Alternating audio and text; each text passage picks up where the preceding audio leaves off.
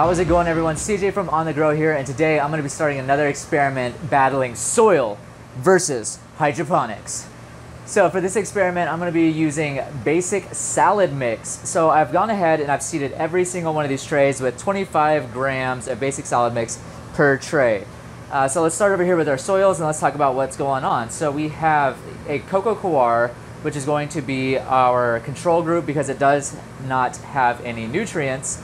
So we're just going to be giving this guy some water and that way it will provide us with a baseline or a control.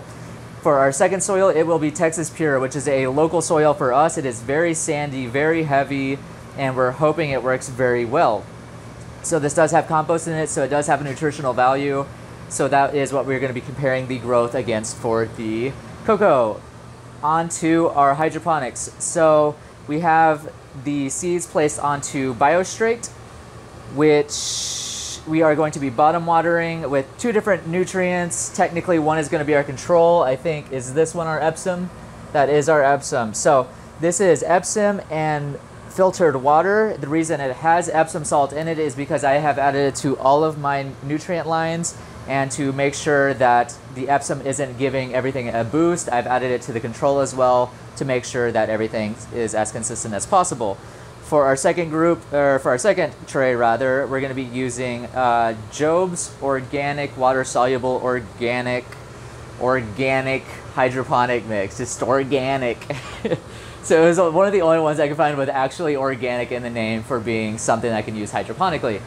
So all of that being said, I'm really excited to see how these results come out. I will not be stacking these because the last time that we stacked basic salad mix, there is something mixed in here. It might be arugula or something similar, but it's mucilaginous and it causes everything to stick to the tray above it, which is a really big pain in the butt for whenever we need to water these because we pull them apart and we've got like half of our seeds stuck to the top uh, or to the bottom rather of a different tray that we have to figure out how to get back into this. So I'm excited to see how this turns out. I'm gonna get these covered up with blackout domes for probably four to five days. We'll update you as you go, and we'll see how this turns out.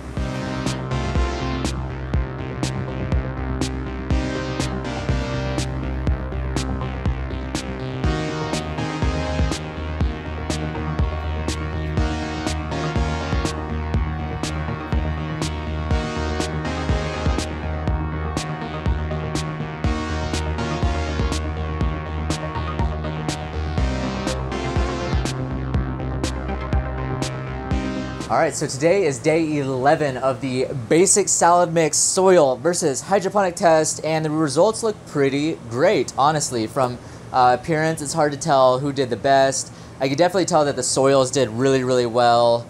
Um, our control group on the hydroponics seems to be the lowest, uh, or uh, slowest growth, rather, and the other hydroponics is looking super happy.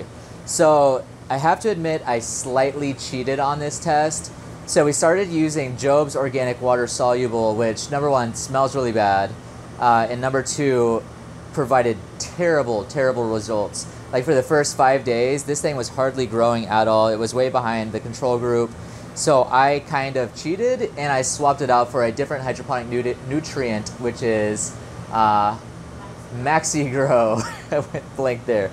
Um, so the MaxiGro was actually able to uh, accelerate this growth enough to kind of catch it up and make it uh, viable in this test.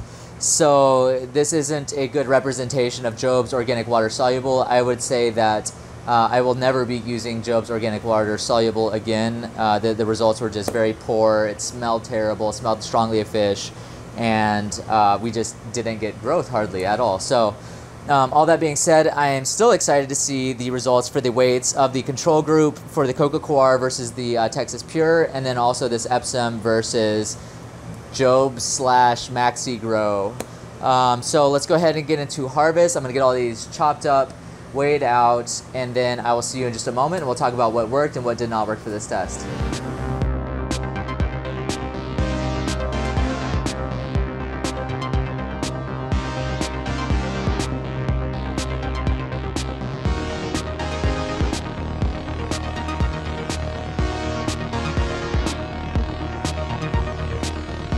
All right, so we just finished harvesting all of these basic solid mixes and I'm gonna read out the weights in order from lowest to highest. So our lowest weight was our control group for the hydroponics, which is our Epsom salt with a total weight of 136 grams. Uh, above that was the Maxi Grow Jobe's Weird Blend that we did uh, to end up saving this, and we got 194 grams out of that. So that was actually looking quite nice. Um, just above that one, six grams higher, is our coco, which is our soil um, control group, and the highest weight.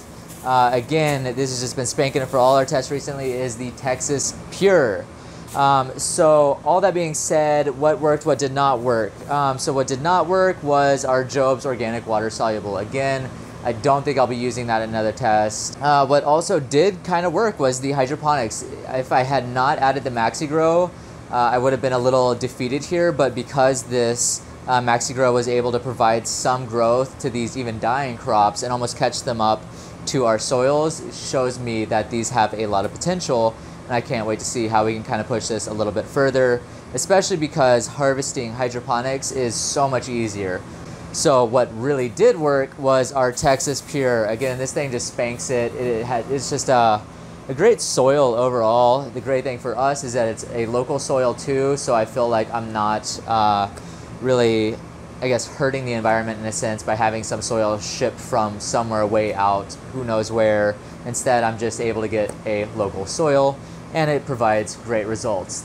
Uh, and the last thing that also kind of didn't work uh, was that we did a three-day blackout on these. Uh, we did a four-day blackout on our other hydroponic tests, and those are looking much taller. These were a little short for my liking, and I think that just one extra day of blackout uh, has provided quite a substantial amount of extra growth to be able to be used. That was a lot of information. So again, this is what we're finding in our space. I just do these experiments for us and our space to see what works best for us and what doesn't work best for us. Uh, soil provides great results, but honestly, I love hydroponics. It's just so much easier to use, so I'm trying to uh, get that to grow a little bit better. If you guys enjoyed this video, please give us a thumbs up. If you dislike it, give us a thumbs down. If you have any questions or comments, please leave them in the section below. We would love to answer those for you. Uh, if you would like to, we do lots of experiments. As you can see, all these over here are going to be hydroponics, and we're still doing hydroponics versus soils, and we always do hydroponic versus soils. So if that's something that interests you, please click, click the subscribe button. And if you would like to, our Instagram is at On The Grow Farms. Thank you, and I hope to see you soon.